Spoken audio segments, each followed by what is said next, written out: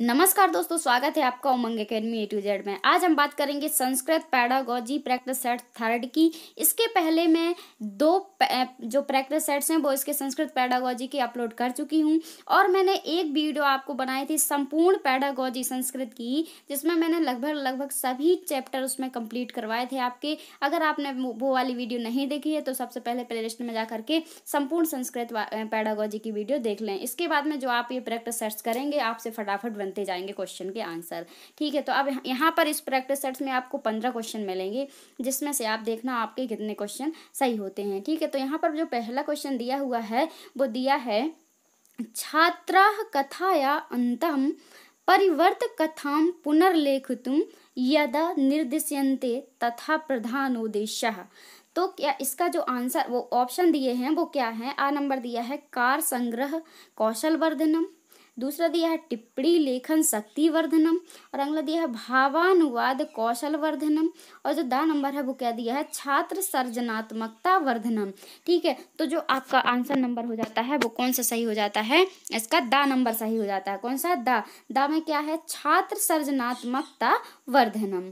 ठीक है, इसका क्या आंसर सही है आपका? दा नंबर जो है सही है, छात्र सर्जनात्मकता वर्धनम। अब जो अगला क्वेश्चन है, वो दिया हुआ है यहाँ पर यदा अध्यापिका, क्या? यदा अध्यापिका अवगमने क्लेशान न्यूनताम च ज्ञातुम परीक्षा करोति, तादृशी परीक्षा एव भवति। तो ऑप्शन दिए हैं आपके, सिद्धि परीक्षा नैपुण्य परीक्षा सा दिया है निदानात्मिका परीक्षा और दा नंबर दिया है, वो आपका दिया है क्या?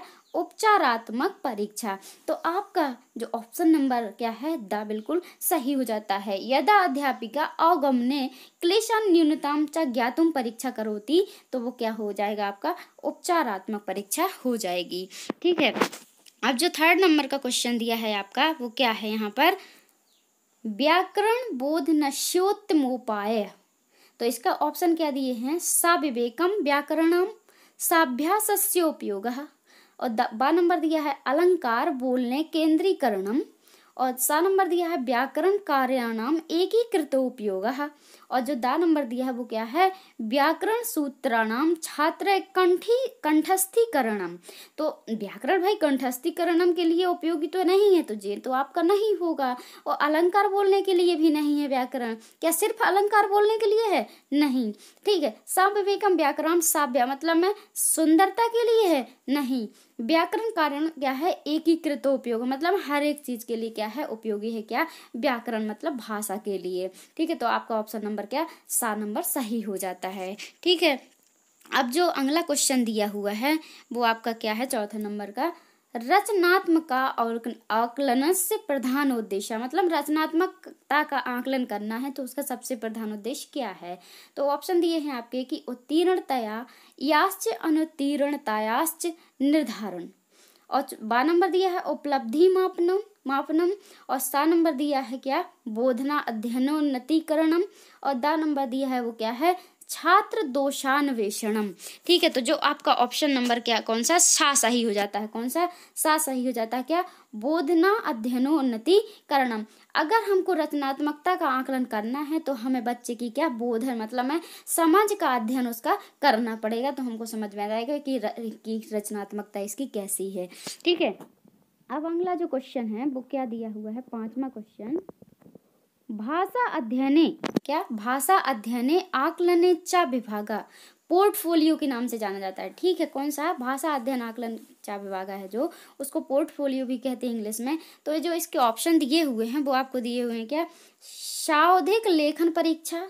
और दूसरा दिया है, छात्रा या कालिक कार्य संग्रह या तस्या प्रगतिम दर्शित और सा नंबर दिया है क्या? प्रतिशन्नम क्रियमाणाम मौखिकी परीक्षा। और दा नंबर दिया है वो क्या है? प्रतिशन्नम छात्र व्यवहार अभिलेखनम। तो आपको पता होगा कि जो पोर्टफोलियो होता है, वो उसमें क्या किया जाता है कि जो बात, बच्चे हैं और टीचर हैं, सबका उसमें लेखा जोखा रखा जाता है। ठीक है तो इसका जो क्या है ऑप्शन नंबर आपका बा सही हो जाता है क्या? छात्राया कालिका कार्य संग्रह या तस्या प्रगति दर्शे। मतलब जो पोर्टफोलियो है या फिर भाषा अध्ययन का आकलन है जो उस विभाग है उसका तो उसमें क्या होता है? छात्र के समय कार्य संग्रह और उसकी प्रगति का, का का दर्शन होता है मतलब उसमें दर्शाते हैं। ठीक है तो आपका ऑप्शन नंबर क्या? बा बिल्कुल सही हो जाता है। अब जो अगला क्वेश्चन दिया हुआ है वो छठवा क्या दिया हुआ है? पाठस्य सवेग परिसर्पणम नाम।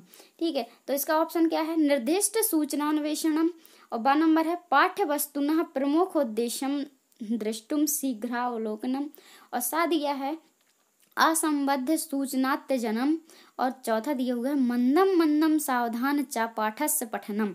तो जो देखते हैं कि इसका आंसर क्या है, इसका जो आंसर है वो क्या है? सा नंबर सही है क्या? असंबद्ध सूचना, सूचनात्य जननम है, ठीक है? क्या आंसर? पाठस्य संवेग परिसर्पणम नाम। इसका क्या दूसरा नाम है? असंबद्ध सूचना जन्म। ठीक है? अब जो अगला क्वेश्चन है, वो क्या दिया हुआ है यहाँ पर आपका?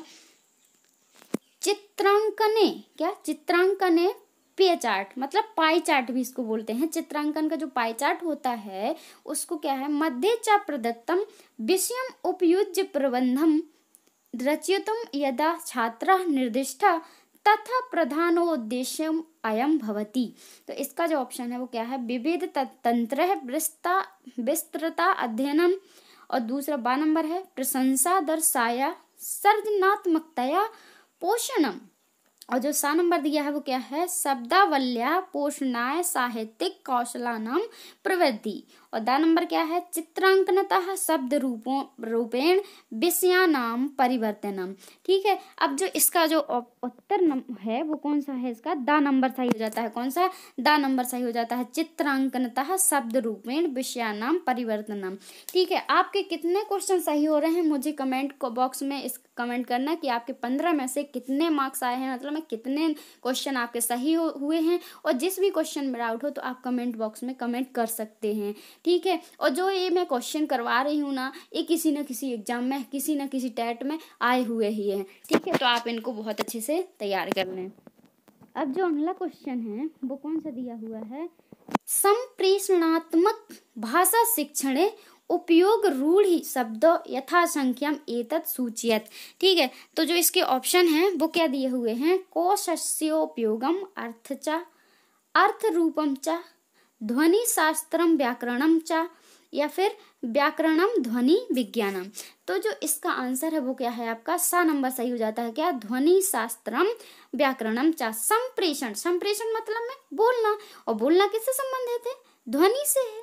ठीक है तो इसका क्या है? ऑप्शन नंबर आपका सा है, जो वो क्या सही हो जाता है। अब जो अगला क्वेश्चन है, नाइन नंबर का, वो क्या है? भाषा शिक्षण नियंत्रणम नाम। भाषा शिक्षण का नियंत्रण नाम क्या है? तो जो ऑप्शन नंबर आ है, वो क्या है? लक्ष्य भाषा या निरर्गलोपयोग और बा नंबर दिया है, परिवीक्षित भाषा शिक्षणम। और शा दिया है, उपाध्याय नियंत्रित भाषा शिक्षणम। और जो चौथा दिया वो क्या यथार्थताम निर्धारित व्याकरण से उपयोग ठीक है, जो इसका आंसर है, वो क्या है? दा नंबर आपका क्या होता है? सही हो जाता है। यथार्थताम निर्धारित व्याकरण से से उपयोग। ठीक है? अब जो अगला क्वेश्चन है, दसवा क्वेश्चन है, दस, दशम इसको बोलते हैं संस्कृत में, है ना? तो आपको गिनती भी अच्छे से याद कर लेनी है। मैंने इसकी गिनती की, एक वीडियो डाली थी वन से लेकर हंड्रेड तक। अच्छे से कॉन्सेप्ट से आप कैसे याद कर सकते हैं, उसको मैंने अच्छे से डिफाइन किया है तो आप वहाँ प्लेलिस्ट में, वहाँ पर संस्कृत व्याकरण में वो देख सकते हैं। ठीक है? आप क्वेश्चन नंबर हम दस देखते हैं।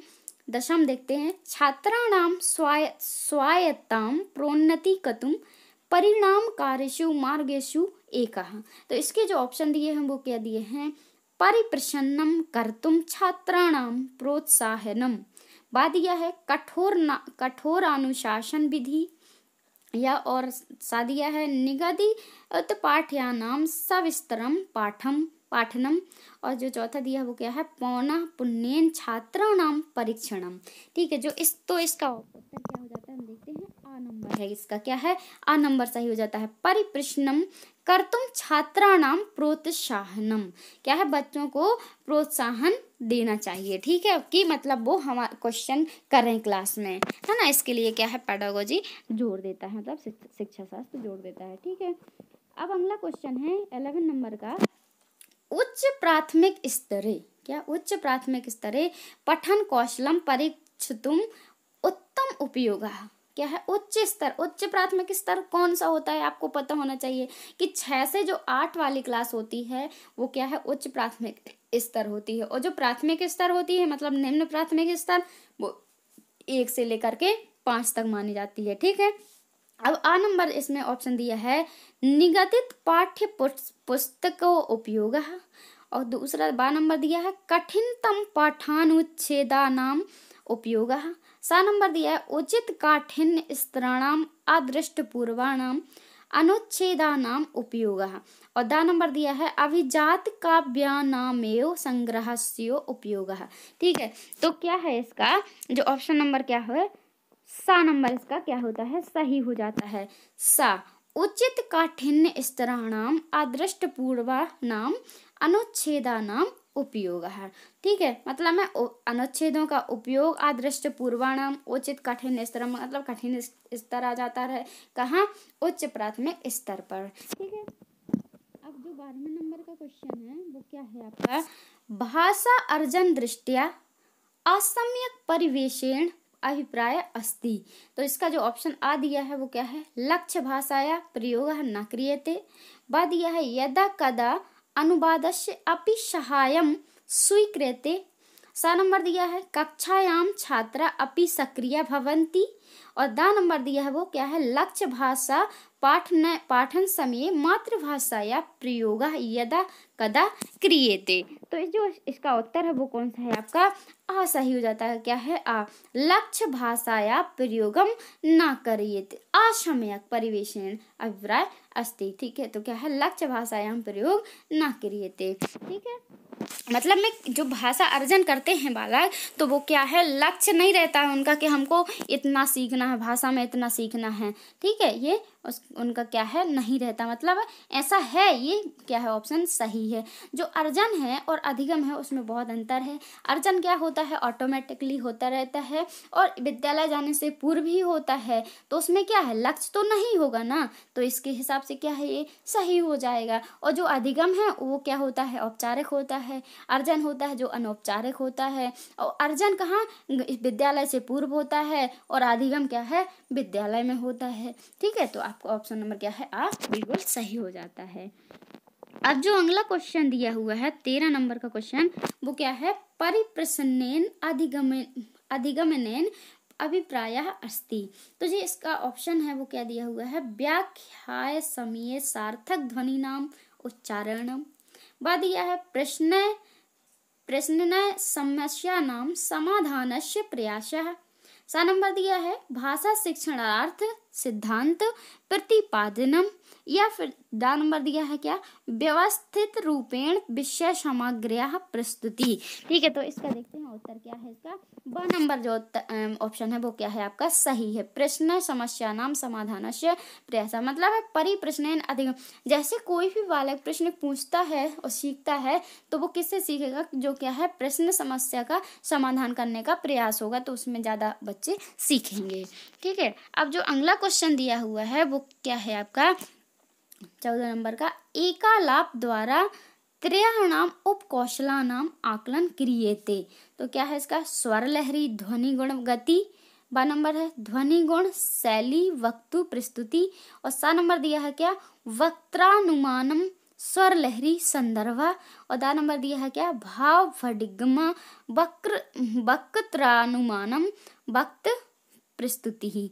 ठीक है तो अब इसका उत्तर क्या है आपका? आ नंबर है इसका। क्या है? स्वर लहरी, ध्वनि गुणा और गति होता है। ठीक है, अब जो अगला क्वेश्चन है लास्ट इस प्रैक्टिस सेट्स का लास्ट क्वेश्चन है, नंबर पंद्रह। ठीक है, सृजनात्मकता, सृजनात्मक पठनस्य उदाहरणम। क्या है? सृजनात्मक पठनस्य का उदाहरण क्या है? तो जो आ नंबर इसमें ऑप्शन दिया है असंबद्ध असंबद्ध चिनार्थ अंतरजाल अंतरजाल दर्शनम। दिया है, भिन्न दृष्टिकोणेन नाटकीकरणम भूमिका पुनर्लेखनम चा। स नंबर है, अर्थ प्राप्त अर्थम भाषणम। और द नंबर दिया है क्या? परा, परामर्श कार्यम ग्रंथालय अधिकम करणीयम। तो जो इसका आंसर है वो क्या है आपका? बा नंबर सही है क्या है? बा नंबर सही है क्या? भिन्न दृष्टिकोण नाटकीकरणम भूमिका पुनर्लेखन चा जो सृजनात्मक पठन से होता है, उसमें क्या है भिन्न भिन्न दृष्टिकोण होते हैं बालकों के, नाटक करते हैं, भूमिका का निर्वाह करते हैं, पुनर्लेखनम करते हैं। ठीक है, ये सब क्या है, सृजनात्मक की क्या है, उदाहरण है। ठीक है तो आई होप कि आपको वीडियो अच्छी लगी होगी। प्रैक्टिस सेट्स में जो भी क्वेश्चन दिए हैं, इसी प्रकार से परीक्षाओं में क्वेश्चन पूछे जाते हैं और जे क्वेश्चन किसी न किसी एग्ज़ाम में आए हुए ही है। ठीक है तो मैं इसके बाद भी अभी अगला प्रैक्टिस सेट्स लेकर के आऊँगी। तो अगर अगर आपको वीडियो अच्छी लगी है तो लाइक कर देना, कमेंट कर देना। और ये तो ज़रूर कमेंट करना कि आपके जो पंद्रह में से क्वेश्चन कितने सही हुए हैं। ठीक है, मिलते हैं नेक्स्ट वीडियो में, तब तक के लिए नमस्कार।